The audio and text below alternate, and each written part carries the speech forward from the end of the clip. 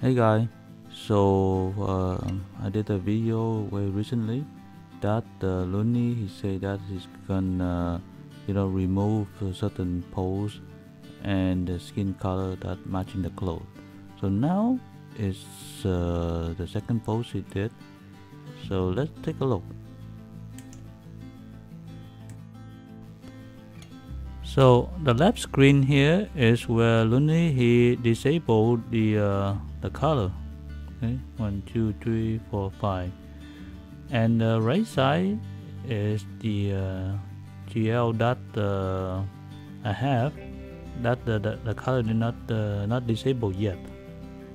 So let's see here. So this color go to this one, this one go to this, this go to here, this go to this, and this go to here. So those the color you saw that's been disabled. So he explained that okay, only this color will be disabled for the shirt slash pants only if your character skin tone is peach. All other skin color can still use all colors. Hopefully this can stop the NSFW naked character a bit. Sorry for the confusion. So after Luni uh, posts uh, the pictures, and there were a lot of uh, questions, but uh, what uh, come down to was that if your uh, character is darker, then the peachy color will be available.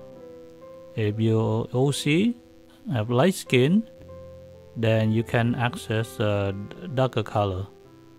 Uh, basically, uh, you know, let me say that the goal is trying to make the uh, those uh, NF and SFW creator annoyed by the change and maybe quit, you know, the game.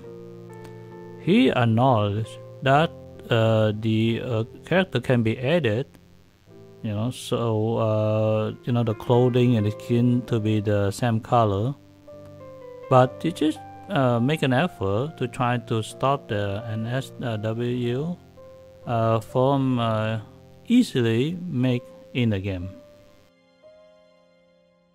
Alright guys, so that's the end of the video. Uh, leave a comment below what you think about this uh, those uh, color being disabled will affect you. Uh, Alright, so leave a like if you like this video, subscribe if you're not subscribed yet, and see you next video. Bye!